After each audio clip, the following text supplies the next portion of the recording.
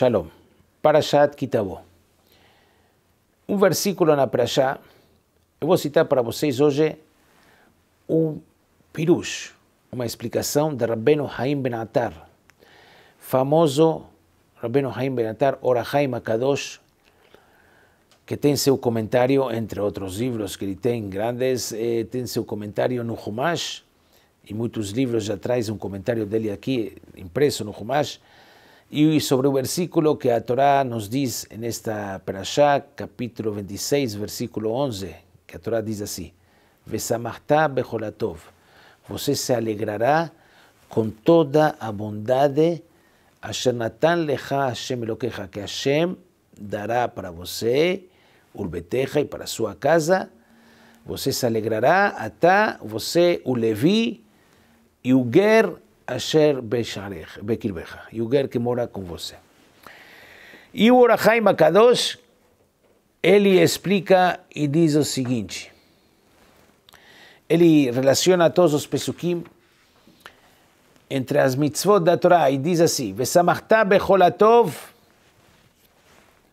en tov el a Torá. Como diz o Balaturim aqui, que a palavra hatov tem suma 22, que a Torá foi dada com 22 letras. E diz assim,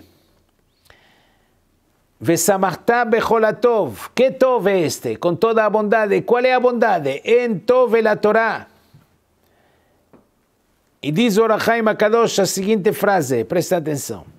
Shimayu bene Adam margishim bimtikut ve'arevut tov haTorah.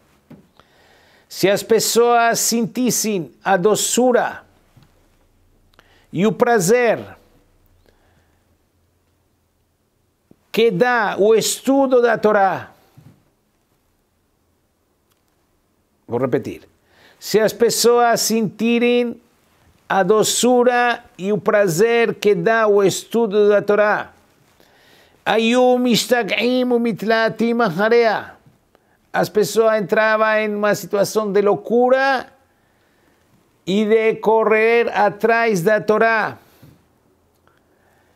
ולא יחשב ביניהם מלוא עולם כסף וזהב למאומה.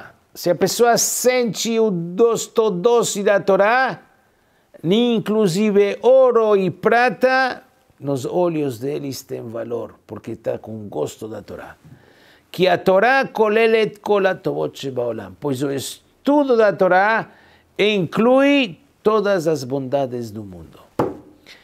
Meus caros amigos, o estudo da Torá não somente é uma mitzvah, não somente é o que mantém o povo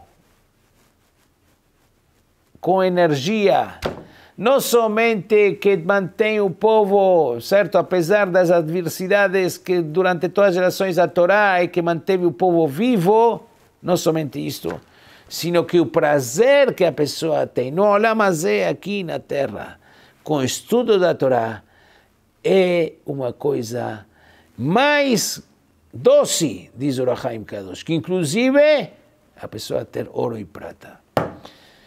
Então, quem não quer isto? Quem não gostaria disto? Tem que trabalhar um pouco apenas. Um pouco.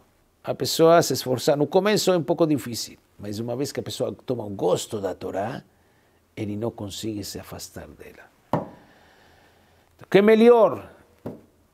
E todos os grandes, não grandes, grandes e pequenos, quando tem algum problema e tem um problema adverso e tem uma situação negativa, por que os hajamim sempre estão com essa vitalidade?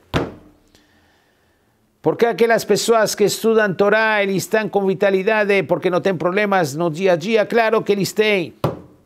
E às vezes carregam os problemas dos outros. De onde tem essa força? De onde tem essa energia do estudo da Torá? A pessoa tem que a única coisa que provoca a pessoa sossego e prazer e doçura é o estudo da Torá. E quanto mais a pessoa estuda, mais a pessoa sente.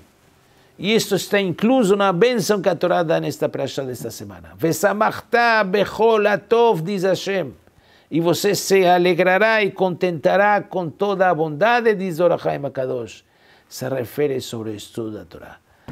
Que Hashem nos deu o mérito de sentir esse gosto, de sentir essa atração pela Torá, e assim a pessoa vai viver, olha mas é, vai viver aqui neste mundo, não a pessoa chega aos 50, 60, eh, terminou, já está meio já se aposentando, e a única coisa que ele pensa que vai fazer no dia seguinte, quando acordar, imagina uma pessoa que tem e sente o gosto da Torá, e ele estuda, e vai de um shiur, e escuta um shiur, e outro, e outro, e outro.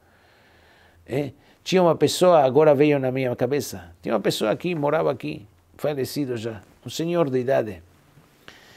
E ele, nos últimos anos de vida dele, ele se aproximou. E ele sabia francês, ele tinha um problema visual, vista, da vista, não conseguia ler de perto. E ele escutou, ele escutava, sentava o dia inteiro e só escutava áudios de Torá o dia inteiro. Ele entendia francês, escutou todos os rabanim da França, principalmente o Rav Citruk, que era conhecido. E ele escutou e sabia as fitas de cor, e a única coisa que ele fazia era comentar sobre esses shiurim que ele ouvia ele vinha e falava e comentava e discutia, assim vinha diretamente aqui na sinagoga. Isso deu para ele certeza, inclusive depois que faleceu a esposa, teve alguns anos sozinho, e dava o sentido da vida dele. O sentido da vida ao estudo da Torá. Mas não tem que esperar quando a pessoa se aposenta, porque lá, quando a pessoa se aposenta, é muito limitado o que ele pode estudar se ele não estuda durante a vida. A pessoa tem que dedicar esse tempo a sua vida. E à medida que passa os anos e sobra o tempo, dedicar mais tempo a Torá. E o prazer de vida, e o prazer de viver, o prazer de viver, que saber que no dia seguinte eu acordo e eu faço o que? Estudo a Torá. Que melhor. Isto que está dizendo agora Kadosh. A pessoa saberia, o, sentiria o doce da Torá. Então correria atrás mais valioso, inclusive, que prata e ouro. Shabbat Shalom.